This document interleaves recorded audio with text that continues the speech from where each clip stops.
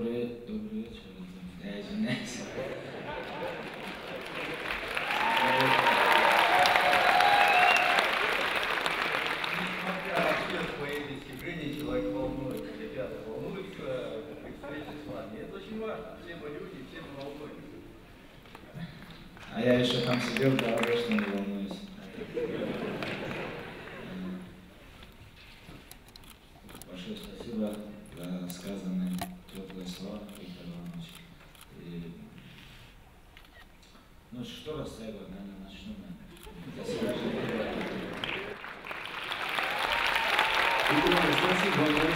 Вас. Да, я вас занять место э, в зале. Давайте поаплодируем Виктору Ивановичу. И мы перейдем да, к э, выступлению. Здравствуйте, да, присаживайтесь. Итак, э, Хабиб, вам слово. Я думаю, то, что э, всем собравшимся, конечно, очень интересно о вашем становлении как спортсмена э, с всемирно известным именем. Как вы к этому пришли? Через что вам пришлось пройти? Мы будем рады, если вы нам поведаете, а мы поддержим аплодисментами, друзья.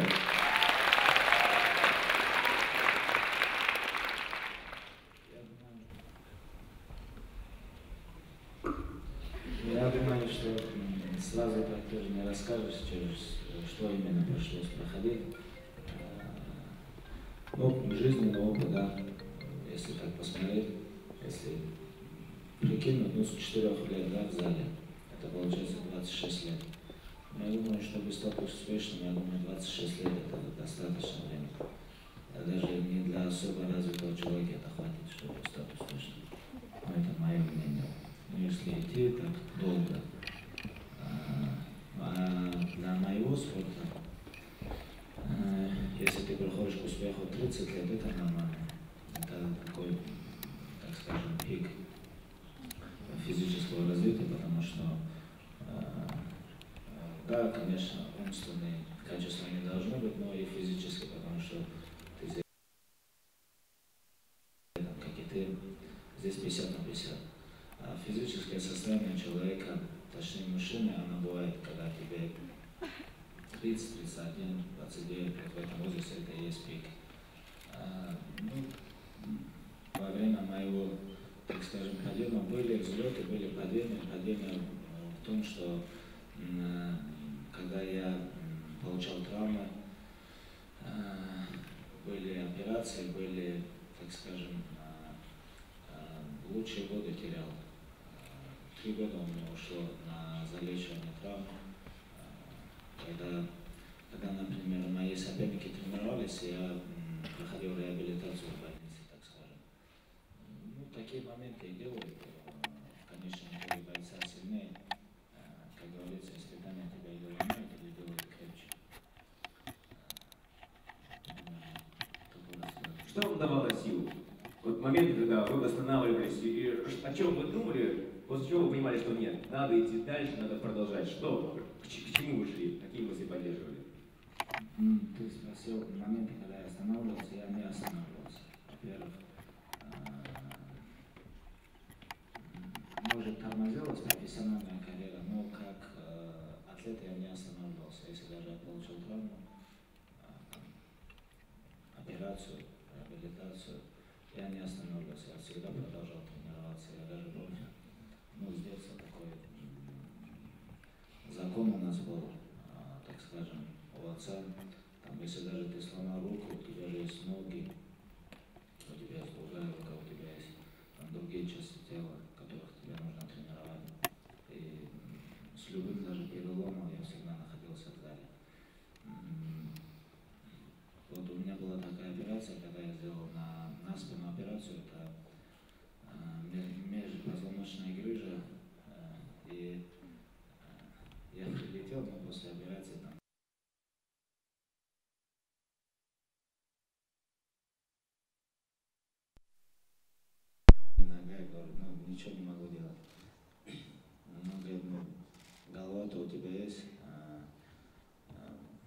приходи в зал, будешь сидеть, смотреть, молодым подсказывать. Это тоже своего рода тренировки. Но дома сидеть, причины не вижу. Примерно вот так и проходил. Я думаю, это достойно уважения ваших аплодисментов. А, а, Уважаемые гости, за неделю до сегодняшней встречи к нам поступило множество вопросов, которые студенты и сотрудники хотели бы задать Хабибу, и сейчас Хабиб ответит на некоторые из них. А, Мы приготовили для вас, а, вот у нас есть папаха, естественно. А здесь, Хабиб, здесь лежат вопросы, которые были вам адресованы. А, Ваша задача очень простая. А, Возьмите наугад, если лежат бумажки, на них, э, на них написаны вопросы, они свернуты. Э, Достаете, разворачиваете, зачитываете и отвечаете. Я уверен, там будет много, много интересных мыслей.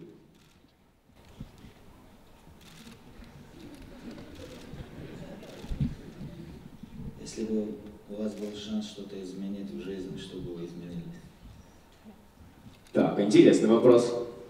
Ну, во-первых, начнем с того, что у нас не бывает такого шанса. Я не видел таких людей. А, ну, если так пофантазировать, я думаю, что больше брал бы, наверное, время на восстановление организма. М, Ну, я отвечаю как ну, с точки зрения профессионального.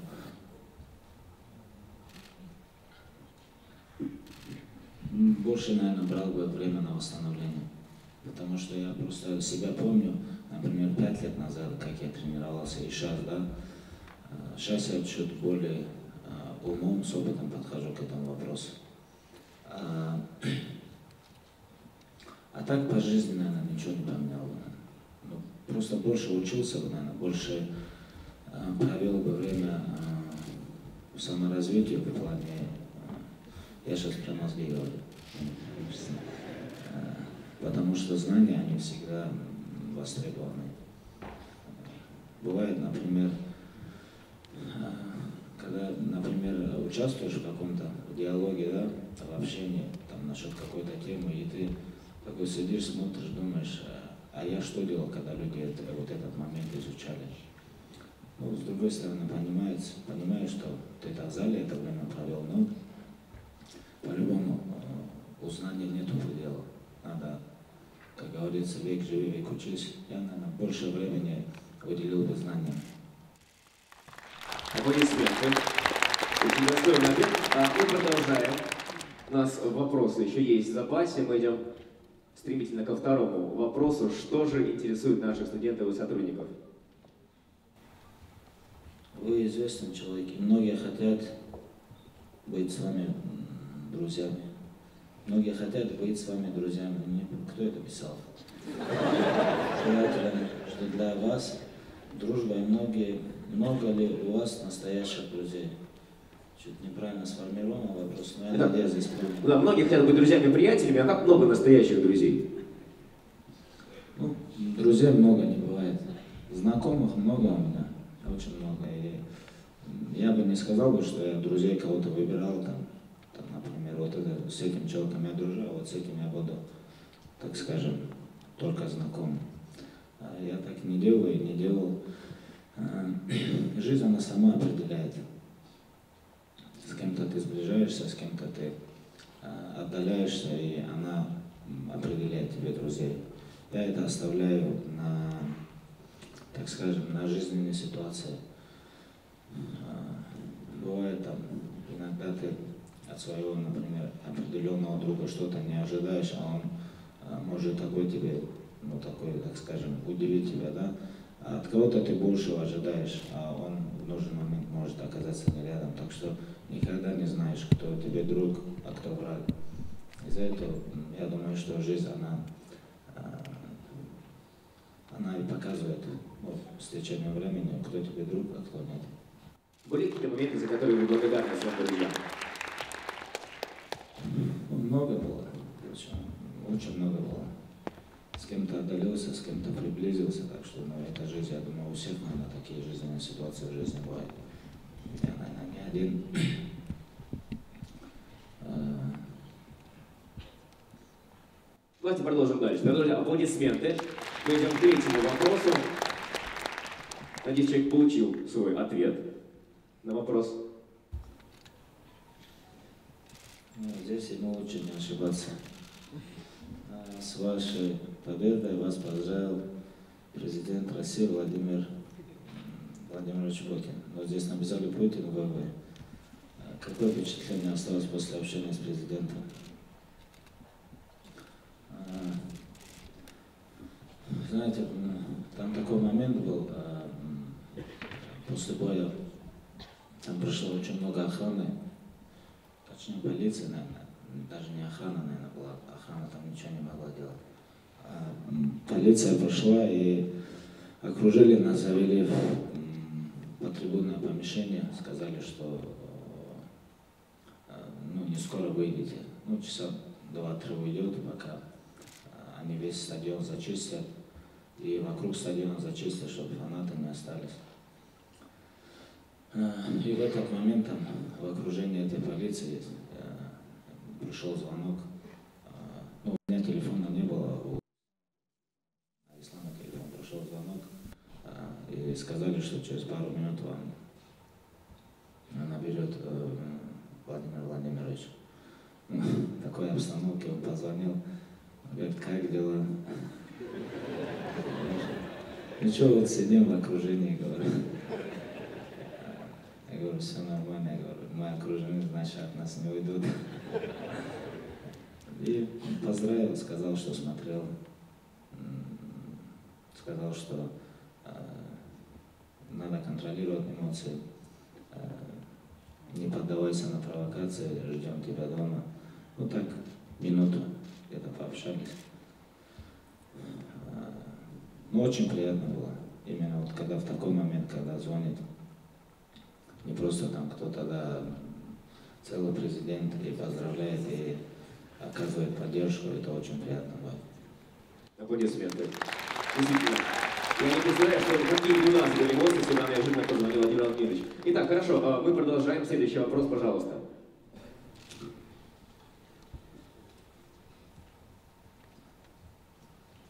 В любом деле есть переломные моменты. Были ли у вас? Расскажите, как вы с ними спра- справились? Я оказался рядом в сложную минуту. Ну, переломный момент, она, когда травму получал, когда третью подряд травму получил, когда нужно было операцию делать, вот этот момент был такой тяжелый. Не то, чтобы я там хотел там сдаться там, и так далее, я просто думал, что может ну, Всевышний мне э, дает знак, что надо оставить. Там. Ну, такие мысли посещали у меня были в голове. Думал оставить. Ну, с, с отцом пообщался, понял, что это не надо оставлять. Отец мне говорит, ну, испытания для этого есть, чтобы их проходить, а не сдаваться как перед испытанием. Ну, сколько тебе, 27, 28, сейчас получил травму. Ну, Вылечишь, через полгода вернешься. Не получится, значит, еще через полгода вернешься. В чем проблема? Он даже, ну, ему даже не интересно было мое мнение. Я понял, что здесь варианта нет. Надо потерпеть и вернуться. И вот как раз так и получилось, как отец сказал, ровно через полгода я вернулся. Аплодисменты. Да, очень важно, когда в нужный момент оказываются рядом люди, которые дадут еще больше сил. Итак, следующий вопрос. Что интересует? Действительно, ли я хочу дебютировать в боксе. Ну, вот так вот, в таком же удивлении отец мне позвонил, когда он прочитал мое интервью. Он мне звонит, он говорит, «А, ты, как я понял, я тебе говорит, полностью голову отбили. Я говорю, ну, вроде меня не били, говорю, а что, почему? Он говорит, зачем тебе бокс? Я говорю, ну, хочу испытать себя, посмотреть. Я же там не просто там с кем-то дерусь, мастером спорта там. Я говорю, это один из величайших боксеров был, человек, который никогда не проигрывал. Ну, было бы интересно тоже себя испытать, посмотреть. Ну, отец, э, ну, отец так 50 на 50, даже, наверное, больше, наверное, большинство он не поддерживает. И не поддержал меня в этом. Э, И по контракту у меня не получилось. Так как у меня еще контракт на два боя с UFC, и я, а точнее UFC не позволит мне подраться. Но, возможно, когда-нибудь все-таки это свершится. Друзья, аплодисменты. Мы, мы продолжаем. У нас еще есть здесь вопросы для вас. Пожалуйста.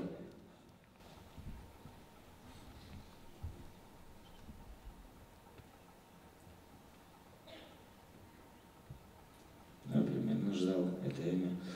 А, Ну, думаете по поводу завершения карьеры в ММА Макгрегора? Ну, уже не знаю. Ну, что мне думать? Сейчас завтра он заново напишет, что он возвращается, и все СМИ будут писать об этом. Но это такой уход, знаете, как человек уходит, все говорят, потом он заново приходит, все говорят. Ну, я думаю, примерно вот так. Он для этого и закинул это все. И, и с UFC у него не получилось договориться, и чтобы они чуть-чуть почувствовали, что потеряв его, они могут потерять деньги. Ну, там это чисто, я думаю, это их политика. Но я не думаю, что он завершил. То есть чисто пиар какой-то. Что вы говорили о человеке? Не сказал бы, что только пиар. Э, Конечно, доля пиара тоже присутствует.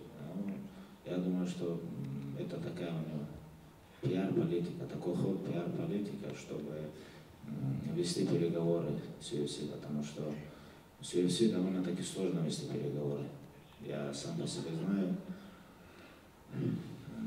Они так грамотно так тебе подходят. Я это знаю момент. У них там пару таких так скажем, американских боссов, да, и там один к тебе, по- так скажем, заезжает, потом раз, если не получилось, потом с другой стороны заезжает, так говорят, так говорят. Потому что я сам по себе знаю, нам последние 3-4 года такие очень серьезные переговоры были, потому что были а, громкие, большие бои, и а, такой чуть опыт я набрался в этом.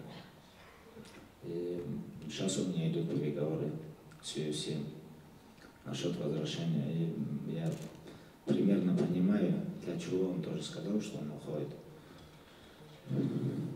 Ну, это как ревнивая жена живая, я ухожу. Отличное сравнение, аплодисменты. Отлично. Так, мы продолжаем. Есть еще вопросы, которые интересуют нашу публику. А какой вопрос интересует их и какой будет следующим? Какое ваше лучшее воспоминание с детства? Ну, детство у меня было такое довольно-таки веселое, так скажем. Оно у меня таком прошло, прошло в таком ключе, что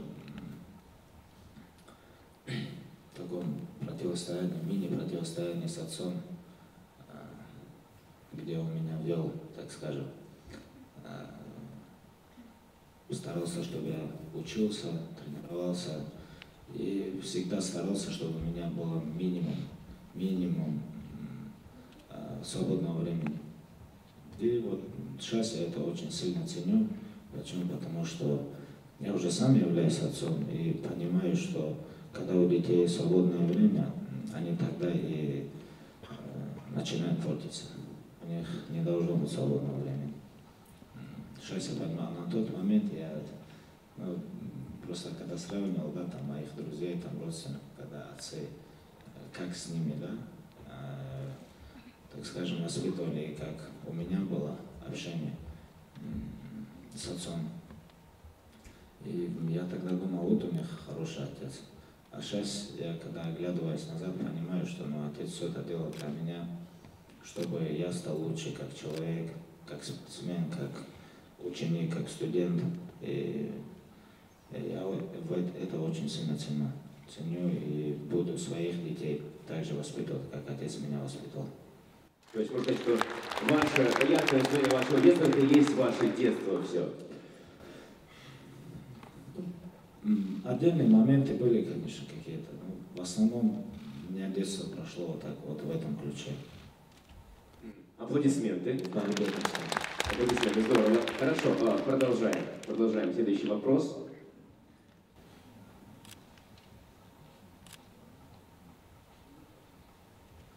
Если бы вы могли иметь только пять вещей, что бы вы выбрали? Все пять? Я считаю, это самый идеальный ответ. Друзья, можно больше аплодисментов? Ну, пять вещей. Это здорово. Так, поподробнее. Ну, знаете, как я когда, ну, тебе вот это, вот это, вот это, вот это хватило бы. Ну, я это, ну, это, это просто иллюзия. Человеку никогда ничего не хватит. Это вообще невозможно. Будет у тебя машина, там, ты захочешь еще лучше. Будет дом, вот ты захочешь еще лучше, там. И, и так бесконечно. Она никогда не хватает. Это я не просто говорю, что мне сейчас не хватает, да? Это вообще, ну, сущность такая, да? А, если на самом деле у тебя в сердце будет такое, так скажем, самодостаточность, э, если ты будешь иметь э, довольство, да, того, что у тебя есть, вот тогда тебе будет легче. А вот пока у тебя вот это есть в душе, там то, что, так скажем, бегаешь за всеми мирскими благами, то тебе будет очень тяжело. Но этой жизни тебе не хватит, чтобы заработать все деньги. Так что... Так вы согласны, поаплодируйте, да. Ну как, как мне дедушка говорил, больше одной буханки в день не так не съешь. Абсолютно верно. Так, хорошо.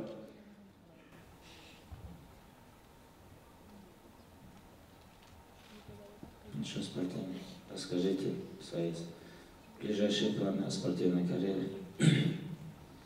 Ну, я хочу вернуться вот в сентябре. У нас такая загвоздка сейчас все, все стоит, что в сентябре э, не может вернуться Зубайр и Абубакр. А я им сказал, что пока они не вернутся, я не возвращаюсь. И такая чуть сложная такая м, обстановка у нас сейчас на данный момент идет, идут переговоры. Ну, Мои условия, что сперва они должны вернуться, а потом я возвращаюсь. А здесь получилось, что я выпрыгнул, а они пострадали из-за меня, так что они сперва должны подраться, а потом уже я дурюсь. Ну вот сейчас у нас идут переговоры. И что интересно, э, так же интересно, мне даже что-то иногда смешно бывает, когда они мне деньги предлагают, говорят, чуть больше дадим, ты вернись сперва, откажись от своих слов. Ну так, интересно будет слушать, когда люди э, судят тебя так, э, ну так скажем, по себе. Ну что, посмотрим, время покажет. А мы будем внимательно следить, следить, друзья, аплодисменты. Итак, мы продолжаем. Давайте я объясню.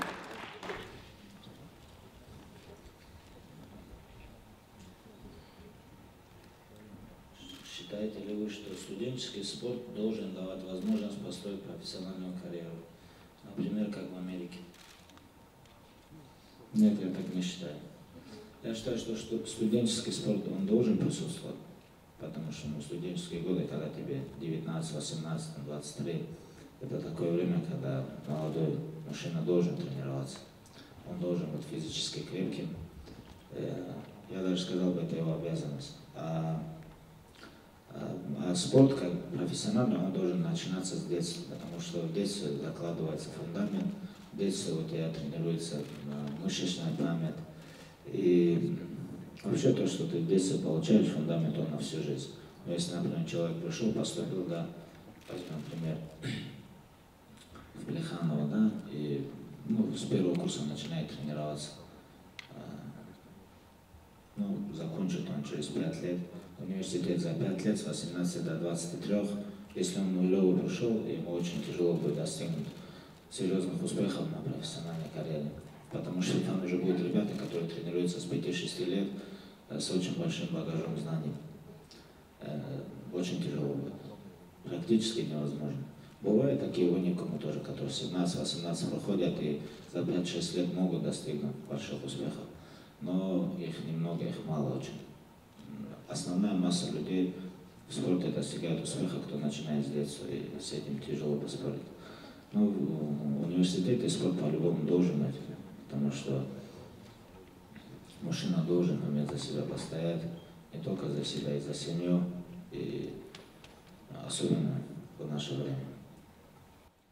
Друзья, аплодисменты. Я вижу, что э, многие услышали э, ответы на свои вопросы. Э, спасибо большое, Хабиб. А сейчас мы перейдем э, к торжественной церемонии награждения наших студентов, сотрудников, выпускников и выдающихся спортсменов Российской Федерации. И сейчас для вручения благодарности на эту сцену хочу пригласить э, нашего ректора, ректору, ректора РЭО имени Приханова Виктора Ивановича Гришина. Друзья, ваши аплодисменты.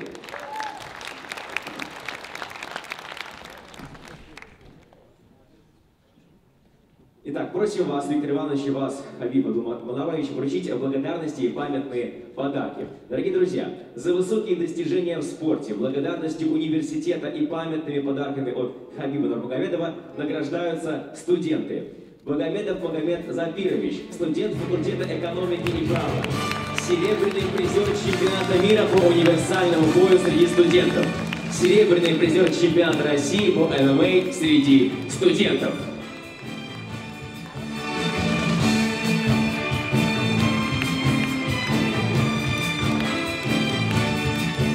Сергеевич, прошу вас остаться, прошу вас остаться на сцене. Булинкина Анна Евгеньевна, студентка факультета менеджмента, двукратный победитель чемпионата мира по решению шахматных композиций.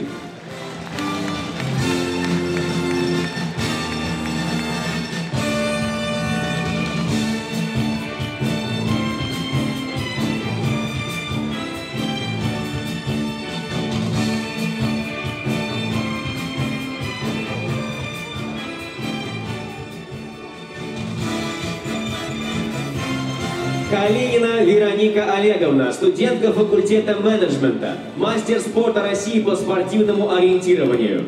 Вероника является победительницей первенства мира среди юниоров по спортивному ориентированию в эстафете. Двукратно серебряной призерки первенства мира среди юниоров по спортивному ориентированию на лыжах, а также участницы 29-й Всемирной зимней универсиады. Кудрявцева Анастасия Станиславовна, студентка факультета менеджмента, мастер спорта по легкой атлетике, бронзовый призер чемпионата Европы в эстафете 4 по 400.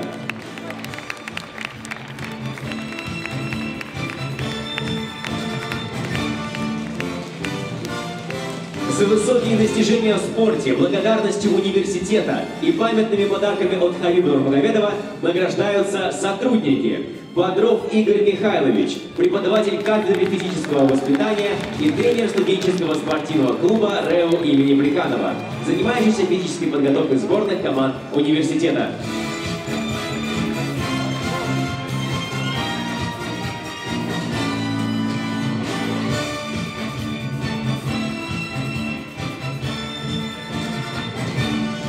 Гаджиев Далгат Муратович, старший преподаватель кафедры физического воспитания, мастер спорта, чемпион России и победитель международных турниров по армейскому рукопашному бою, чемпион международного турнира по панкратиону и чемпион Кубка мира по ушу саньда.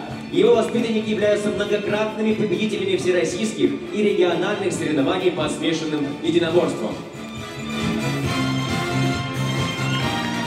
Кузнецов Денис Леонидович, главный тренер хоккейной команды РЭО, чемпион мира по хоккею в составе студенческой сборной России, серебряный призер чемпионата России среди студентов, четырехкратный чемпион Московской студенческой хоккейной лиги.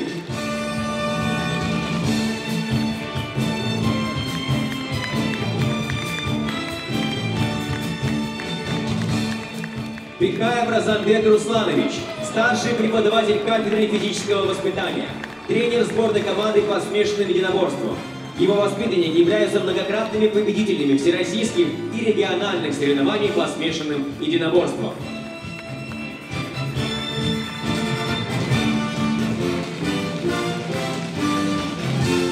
Сарян Галуст Михайлович, руководитель физического воспитания Московского технологического колледжа питания университета, мастер спорта России по пауэрлифтингу, семикратный чемпион России по пауэрлифтингу.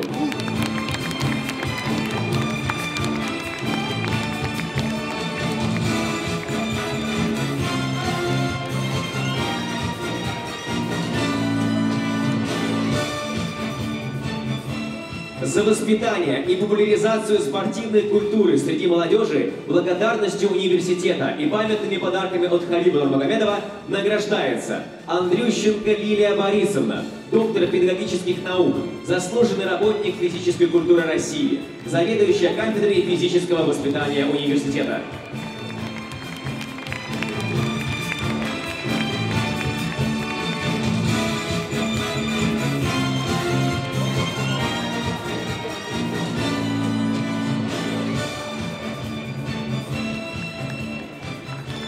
Популяризацию спортивной культуры среди молодежи благодарностью университета и памятными подарками от Хабиба Нурмагомедова награждаются Амиров Шамиль Нуриддинович, выпускник факультета менеджмента 2013 года, мастер спорта Российской Федерации, чемпион мира по тайскому боксу.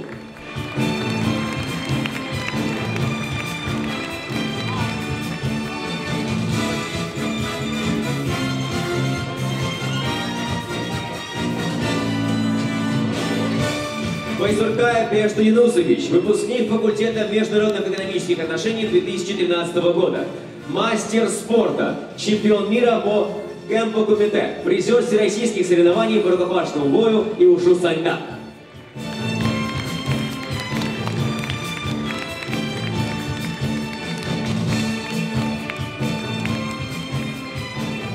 Нагизаде Фарид Самалан Аглы, выпускник финансового факультета 2013 года, кандидат мастера спорта, финалист Кубка России, чемпион Азербайджана и чемпион Москвы по кикбоксингу.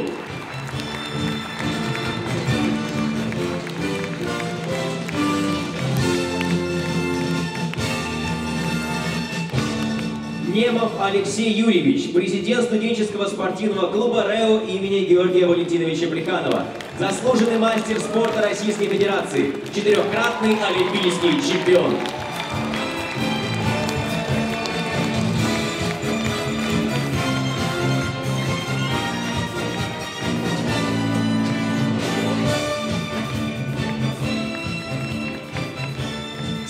Станкина Ирина Васильевна, заслуженный мастер спорта Российской Федерации, участница двух Олимпийских игр, чемпионка мира по легкой атлетике в спортивной ходьбе.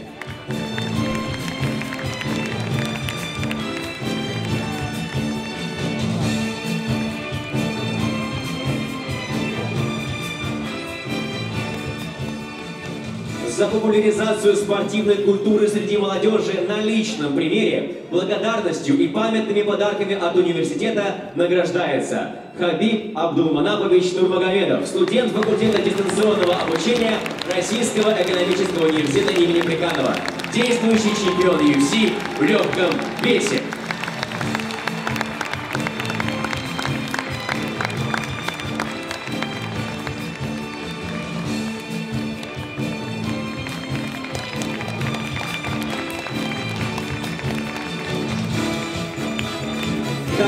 Уважаемые друзья, я прошу вас сделать шаги вперед, чтобы мы сделали общую фотографию на память о сегодняшнем моменте и о сегодняшней встрече. Ну а вас, дорогие друзья, я попрошу наградить аплодисментами всех присутствующих людей на этой сцене.